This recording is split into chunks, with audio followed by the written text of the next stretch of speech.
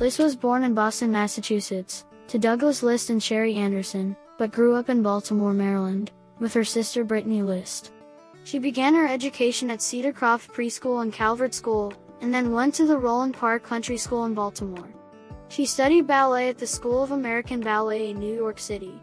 At the age of nine, she began a career as a model. Her first significant commercial appearance was as one of the daughters next door in Washington Square.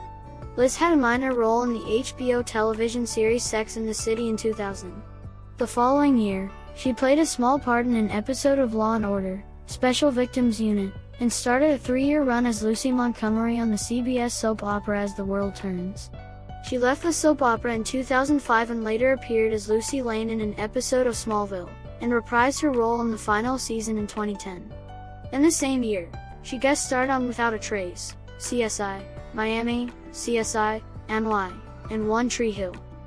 In 2006, List was a series regular on the NBC drama Windfall, as Tally Rita. The series was cancelled after one season, and List had a recurring role on the short-lived ABC drama Daybreak. During the 2007 pilot season, List was cast in another ABC series, Big Shots, in which she played the role of Cameron Collinsworth, daughter of Dylan McDermott's character.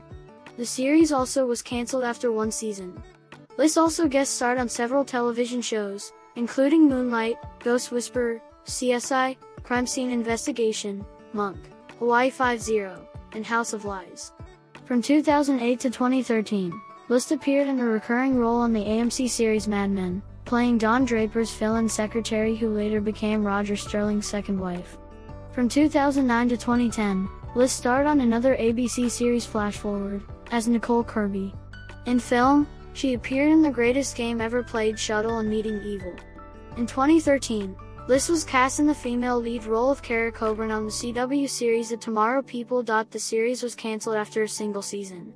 The following year, she had recurring roles in the CW series The Flash and in ABC's short-lived primetime soap opera Blood and Oil.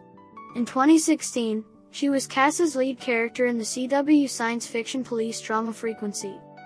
In October 2017, she was cast as Ivy Pepper, also known as Poison Ivy, in the Fox drama series Gotham, taking over the role from previous portrayers Maggie Geha and Clare Foley.